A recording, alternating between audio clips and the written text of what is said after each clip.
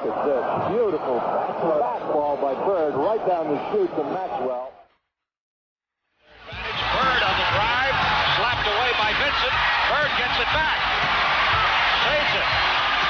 Nice pass to Maxwell. Pulls it up on the dribble. To Bird down the lane. He drops it into Perry for the layup. What a play by Ainge his three-pointer. Tapped by Bird to McHale. Oh, what a play. Oh, my goodness.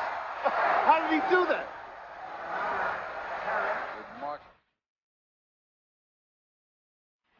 Bird with the pass to the legs of Sikma. Put that in the can. In the Hall of Fame. That's the funniest thing I've seen. Look at Sikma. Hey, if he had knocked knees, he might have been able to do something with that.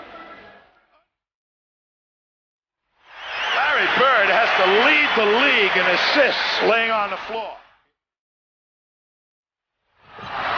Bird steals it. You can see it coming, and look at the pass to McHale. And the way he makes the mistake, keeping it over his head. Bird strips it away, hits the deck going for it. Now look at the court vision he has in the sense to get the ball to McHale for the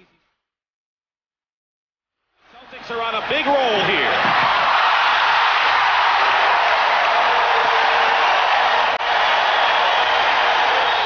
Before the play happens, look at this. He knows that he's going to be attacked by Willis. He takes Willis out of the play. The shot rebound Bird. Bird on the baseline. Oh, great pass. Oh, what a pass.